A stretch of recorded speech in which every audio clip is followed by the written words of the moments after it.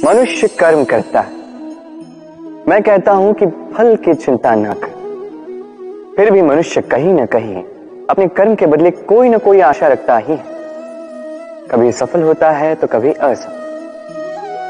मैं इसलिए कहता हूँ कि फल की चिंता ना करो, क्योंकि सफलता या असफलता को मन में रखने से कोई लाभ नहीं है। यदि सफलता को मन में रखोगे तो अहंकार जन्म लेगा।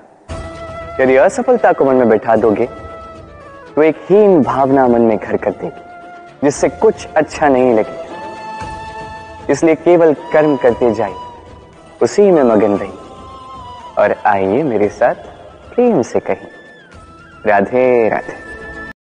सूर्य का ताप कितना प्रखर होता है, सारी वनस्पतियों को सुखा देता है।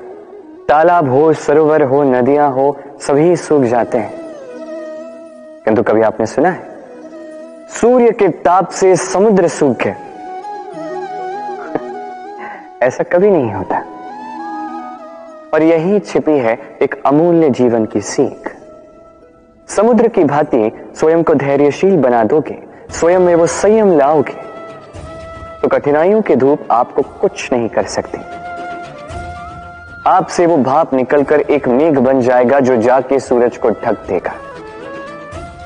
और फिर होगी केवल सफलता की वर्षा।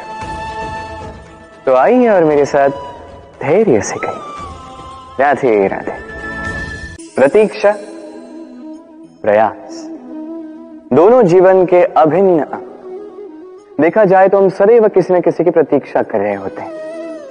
चाहे व्यक्ति हो, चाहे कोई क्षण हो, चाहे कोई भावना, कुछ भी हो सकता है। और देखा जाए तो सदैव कोई ना कोई प्रयास भी कर रहे होते हैं। जैसे सफलता के आने की प्रतीक्षा। असफलता ना आए, इसके लिए प्रयास। सुख आने की प्रतीक्षा, दुख ना आए, इसके लिए प्रयास। अब प्रतीक्षा और प्रयास का एक अत्यंत घनिष्ठ संबंध है।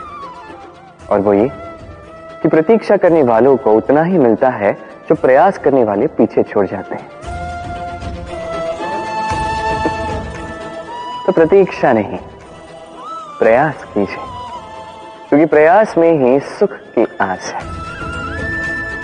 राधे राधे।